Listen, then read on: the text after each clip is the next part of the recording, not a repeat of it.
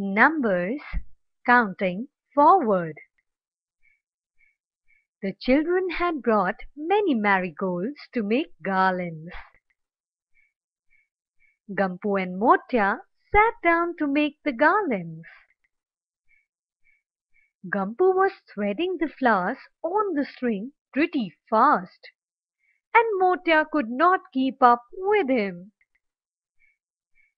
When all the flowers were finished, Gampu's garland was longer than Motya's. Mani asked Gampu, How many flowers are there in your garland? Gampu counted the flowers and answered, I have eighteen. Nandu said, I brought thirty-two flowers altogether. Now, Motya, count the flowers in your garland forward after eighteen. The Motya counted.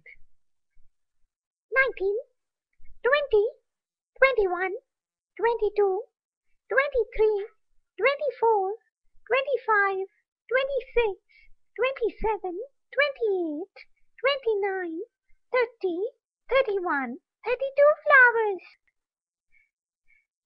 That's right, said Nandu. We have all the thirty-two flowers in the two garlands. Then Mani asked, But how many flowers does Motya's garland have?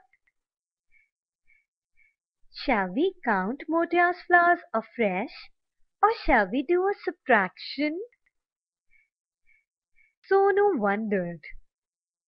Motya said, I feel it's easier to count than to do subtraction sums, and set about counting the flowers in his garland. There were fourteen. Sonu said, We have learnt one more thing that 18 and 14 makes 32.